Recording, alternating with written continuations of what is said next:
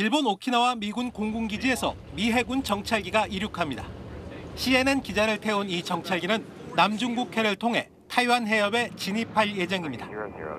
남중국해 상공에 다다르자 훈련 중인 중국 인민해방군 전투기와 맞닥뜨립니다. It is pretty remarkable to see this Chinese warplane operating at such close proximity.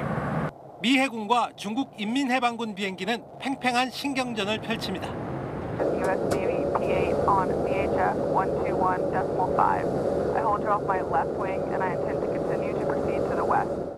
미 정찰기가 타이완 동쪽으로 진입하자 이번에는 중국의 유도 미사일 구축함이 나타납니다. U.S. aircraft, U.S. aircraft, civilian Chinese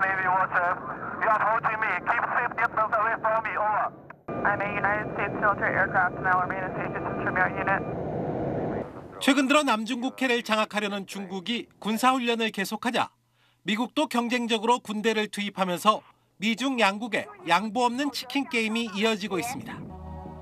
어제는 미군 7함대 소속 해상 초계기 P-8A 포세이돈이 대만 해협 상공을 남북으로 비행했습니다.